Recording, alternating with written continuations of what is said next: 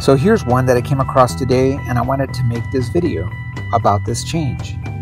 This is one in the song by Queen.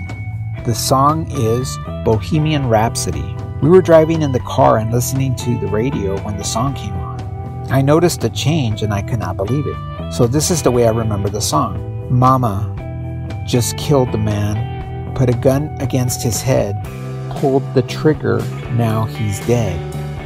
That is my memory of the song. I remember put a gun against his head, pulled the trigger, now he's dead. Well, it changed, and this is what it is now. Mama just killed a man, put a gun against his head, pulled my trigger, now he's dead. I'm sure this song is not done changing. I predict the next change for this song will be the word mama, and it will change to mother, just like the Michael Jackson song Billie Jean change.